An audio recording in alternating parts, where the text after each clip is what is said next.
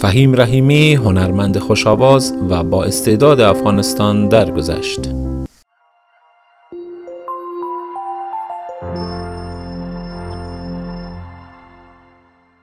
سلام وقت بخیر همراهان گرامی. متاسفانه خبری بسیار متأثر کننده داریم. بله فهیم رحیمی این, جوان خوش اخلاق و با استعداد امروز دارفانی را ودا گفت. فهیم رحیمی متولد سال 1985 در شهر کابل بود. او از طفولیت علاقه زیادی با آوازخانی داشت و به دلیل همین علاقهش در کنار تحصیلات خود موسیقی را نیز دامه داد و با اولین آهنگ خود به نام هر که رخسار تو بیند مشهور شد و علاقمندان زیادی را به دست آورد. او همچنان در محافل خوشی هموطنان ما شرکت می نمود و لحظات خوشی را برای آنها برمغان می آورد او همچنان آهنگ های بسیار زیادی در یوتیوب دارد که میلیون ها بار بازدید شده است. متاسفانه فهیم جان رحیمی امروز بر اثر سکته قلبی دارفانی را ودا گفت. روحش شاد و یادش گرامی.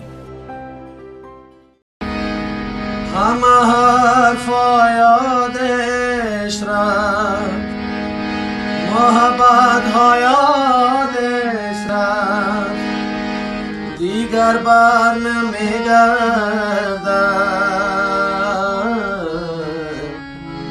دلم لانه درد است بچه نشو ای عشق فراموش کن. تا نشوی گم را حرف گوش کن بس دیگر بس دیگر سوختم.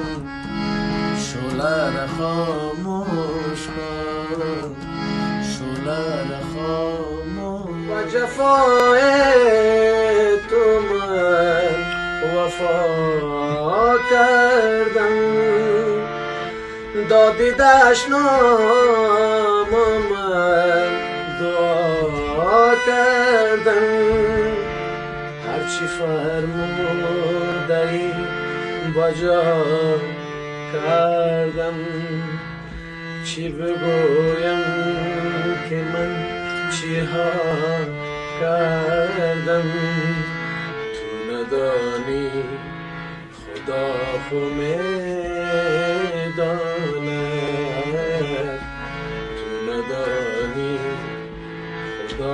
خدا